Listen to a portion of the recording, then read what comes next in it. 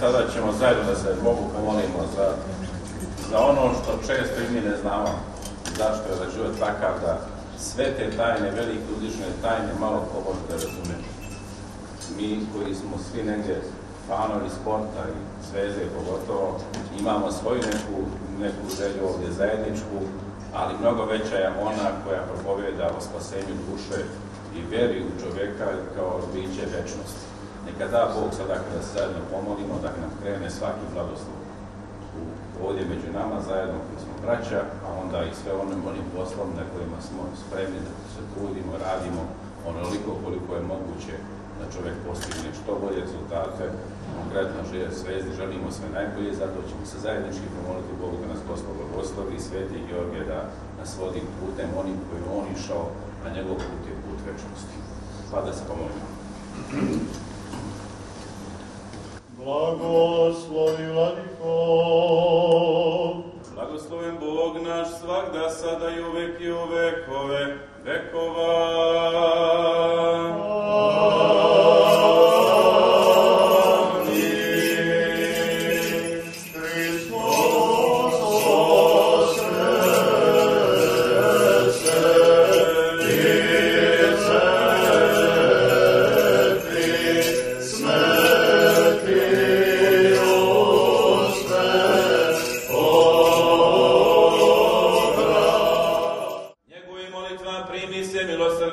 žrtvu svoju nad nebesný žrtvený. Amen.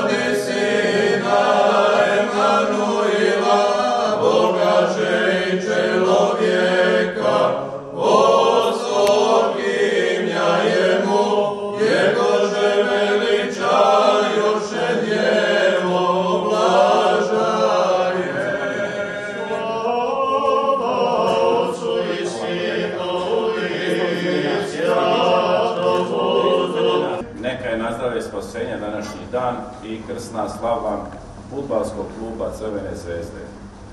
Rekao sam na početku da je to, da ovo danas što se desilo, jako važna stvar koju možda i ne znamo šta činimo i šta radimo, ali ovo nešto što je sveto i što je večnost. Ovo što mi danas smo radili starije nego naš rod, naš narod koji mi pripadamo, tako da je sigurno to važno što smo danas uradili i ja kao neko koji sam simpatizer Crvene zvezde se radujem što smo ovdje zajedno u ovom istorijskom događaju. Ja mogu još da se i našalim malo da u našem, našem hramu Svetoga Save imamo samo jednog sveštenika koji nije zvezdaš, logično da je partizanovac. I to zna se da on tamo neka sedma parokija, tako da je sve jasno. Naravno da je to mala šala, hvala Bogu da smo ovdje zajedno i radimo se s molitnicama. Živjeli na mnoga i blaga je. Mnoga je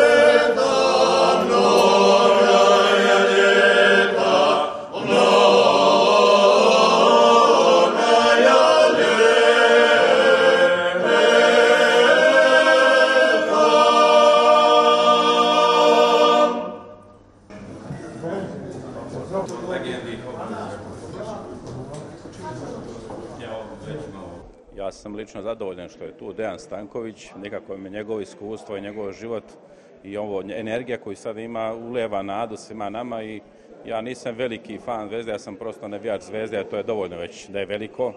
I radujem se i naša su očekivanja, pošto smo svi negdje umaženi. Mi koji smo zvezdni navijači želimo samo duplu krunu i ništa više. Ja sam neko ko poznaje rukovodstvo Gazproma, koji je inače i sponsor Zvezde i oni kažu mi da imamo ovakvu borbu, ovakve navijače i sve, mnogo bi više o tome govorili i pričali. Ja mislim da mi slabo govorimo i malo govorimo o tome koliko imamo nevratne navijače, ljude, sve te oko zvezde, samim time igrače i sve. I ja lično uvijek očekujem da igrač zvezde uvijek bude 100% ili 110% spreman kad igra, pogotovo kad igra sa nekim velikim klubovima kao što su ti klubovi iz Europe i radujem se, dobar je to uspjeh, ali želimo još bolji. Upravo molitva koja se čita prilikom osjećenja kolača je naglas jedno čitano, a u meni u glavi je bilo to da se osveštuje ove prostorije, da nema više pandemije i da smo svi ponovo na stadionu.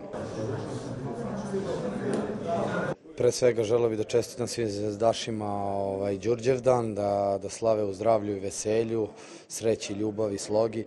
Ovaj, pa naravno da bi želeo, ovaj, želeo bi za, za proslavu titule prvo da se, da, se, ovaj, da se okupe ovde na stadionu, Bože zdravlja, da ova pandemija što pre prođe, a naravno da bi voleo u finalu jer mislim da bi to bio jedan veliki spektakl. Bože zdravlja, da će, da, da kažem, doktori će dozvoliti, vlast će dozvoliti, Bože zdravlja, da, da dozvole navijače i mi je da čekamo. Najpre želeo bih da svim zvezdašima čestitam Đurđevdan, slavu koju u maju obeležavamo na ovako lep način, jer smo obezbedili našu 32. titulu, četvrtu za redom, što je poseban događaj i doživljaj za sve zvezdaše. Nadamo se da ćemo u maju imati priliku da se okitimo još jednim trofejom. Tako da nam ova maj i naša slava predstavlja posebno zadovoljstvo da smo je obeležili na ovakav način uz prisustvo visokih sveštenih lica koji su izrazili želju da održe i da nam čestitaju na ovakav način slavu. Najbitnije u svemu da ipak na našem stadionu dođu i navijači, da i na taj način obeležimo ovu za nas uspešnu godinu, a s druge strane da osetimo svi radost prisustva ovako jednom događaju kao što je proslava titule i završnica futbolskog kluba Srbije. Crvena zvezda u svojoj istoriji prošla je dugačak put. Ovaj događaj danas je prvi put u ovim prostorijama da se i na ovakav način obeležava slava i to je na neki način kako je i vladika istakao samo po sebi istorijski događaj za naš klub.